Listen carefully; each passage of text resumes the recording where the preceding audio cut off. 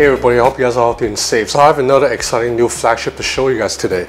This is the Sony Xperia 1 Mark III. So this is the newest flagship from Sony and it has a couple of things, several things actually that makes this phone special. So first, this phone has a 6.5 inch panel that's 4K with 120 hertz refresh rate. This is the first screen on the market in the world right now on the phone anyway to offer you 4K resolution and 120 hertz refresh rate. The second interesting thing is this phone has a 12 megapixel telephoto zoom lens. That is the world's first telephoto lens with a variable zoom distance. So it is both a 2.9 times optical zoom and a 4.4 times optical zoom. And in the camera app, Sony will actually show you that it is 2.9 and 4.4. It doesn't try to cheat and round up to three times or claim it's five times like some other phone brands out there. Now I'm not quite sure about the technology behind the zoom lens, but for the most part it works. 2.9 times and 4.4 times zoom shots look really sharp as if they're lossless quality, but ultimately this is no match for a periscope zoom lens as seen in the Galaxy S21 Ultra. As you can see from these zoom samples here, you know, if I go 10 times zoom, the S21 Ultra is still going to produce a sharper image. But I'm getting ahead of myself. So I'll talk about the cameras more a little bit later. The third thing that makes this phone unique is that it is a Sony phone that is released only in China so far. So right now it's a China exclusive. You know, Sony, as all you probably know, is a Japanese company. For a Japanese company to release a phone that is only on sale in the China market is a little bit interesting. I think it says to a lot about how important the Chinese market is and how Sony is maybe trying to win over some market share in that segment. Now all the other specs of the Xperia 1 Mark III are tip top. So you have a Snapdragon 888 inside, UFS 3.1 storage, 12 gigs of LPDDR5 RAM, and has IP68 water and dust resistance. This last part is interesting because the SIM tray of this phone, just like the SIM trays in most other Sony phones, can be removed with just your fingernail. Like you can just stick your finger in there and just pull out the SIM tray. Now despite the fact that this is a 6.5 inch display, the phone is quite narrow and easy to hold one hand because this is a 21 by 9 aspect ratio and the phone is really thin and light too. It measures 8.2 millimeter as thickest and 187 grams in heft. So that's a pretty lightweight phone. You also have dual front facing speakers that get really loud. And a special features in Sony's uh, flagship phones the last couple years is that there's a vibration engine in there that will rumble along with the sound. To be honest, I find it a little bit distracting, but some people may like it.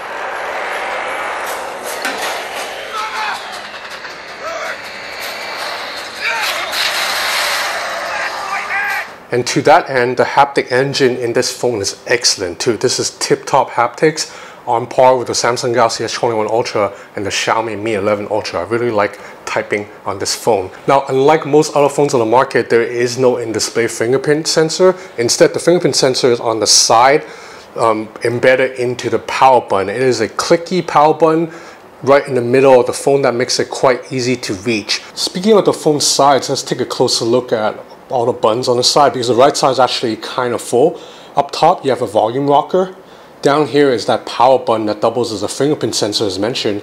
And right here, it's a dedicated button to trigger assistance. Unfortunately, because this phone is a China phone, when you press the button right now, it actually does not launch Google Assistant. It asks you to launch these uh, Chinese apps.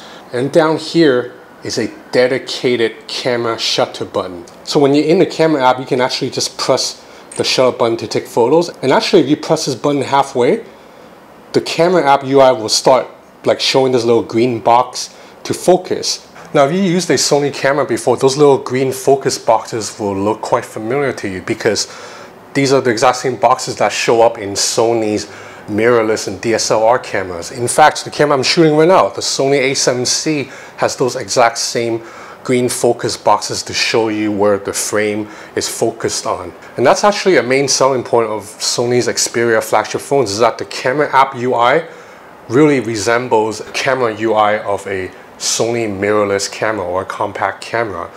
So you have like focus peaking, you have those little green boxes as mentioned, you have eye auto focus too. So, you know, if you are into photography, this phone will offer you more granular controls than definitely an iPhone and a Pixel, but even a lot of other Android phones on the market too.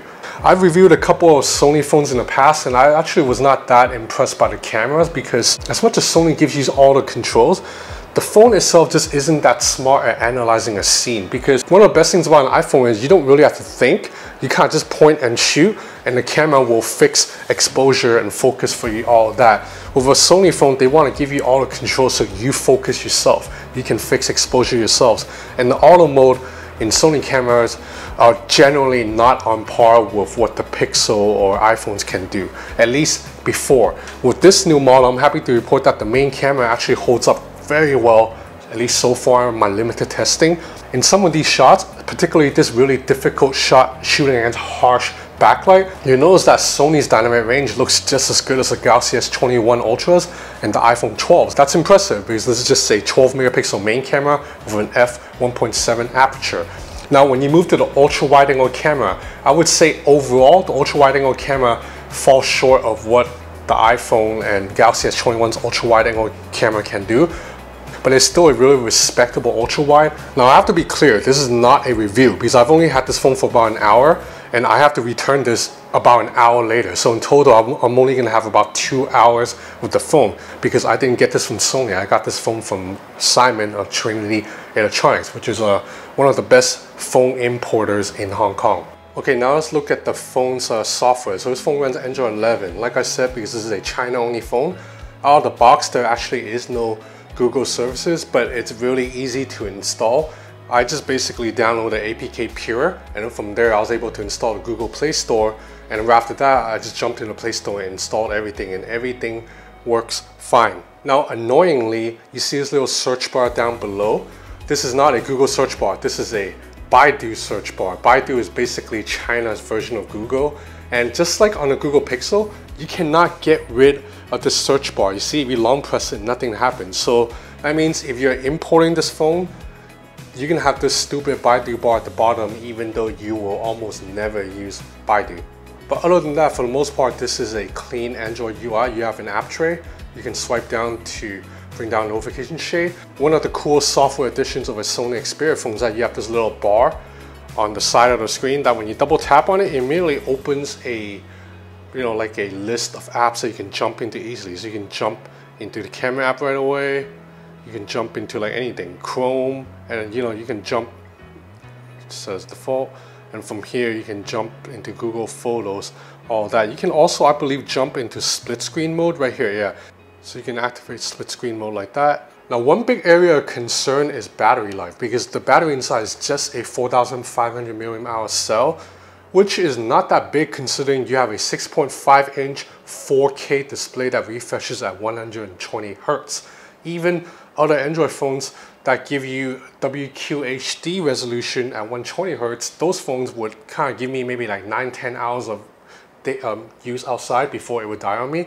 So considering that this one has packs even more pixels, I'm not sure this phone will last 8 hours. Now I've tested several Sony Xperia phones in the past, but I'm usually not too impressed because even just a couple years ago, the bezels on Sony Xperia phones were chunky as hell and the main camera just wasn't that good. But with the Xperia 1 Mark III, the camera has improved significantly and the bezels have slimmed down noticeably too to look pretty damn nice. So now I actually think this is a phone that I could use as my daily driver, but this is a really expensive phone. In China, it is on sale at around 8,400 RMB. That converts to about 1,300 US dollars. And this is the price in China. So if this phone ever gets an international release, you know it's gonna bump up even more because phones always sell cheaper in China than in say the UK or the US. So if this ever launches in the US or Europe, you can expect the price to be like 1,600 US dollars. And then at that price, will I get this over the Galaxy S21 Ultra or even the Xiaomi Mi 11 Ultra? No, I would not. But then there are people out there who are big fans of Sony cameras and perhaps uh, Sony's design language. So for you guys, the Sony Xperia 1 Mark III may be a worthy consideration to import for now. Just, you know, have to be annoyed that you can't get rid of that damn Baidu bar.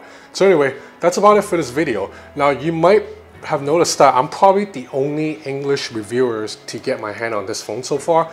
You know, it's not because I'm better than other English reviewers on YouTube, but it's just because I live in Hong Kong, which is probably the best city to get smartphones. Like I'm so close to China, so close to Japan and Korea that I get everything before people in say London or the US. So if you're interested in keeping up to date with all the latest smartphones, please consider subscribing to my channel or follow me on Instagram at Ben's Gadget Reviews. That's it for now. Thanks for watching.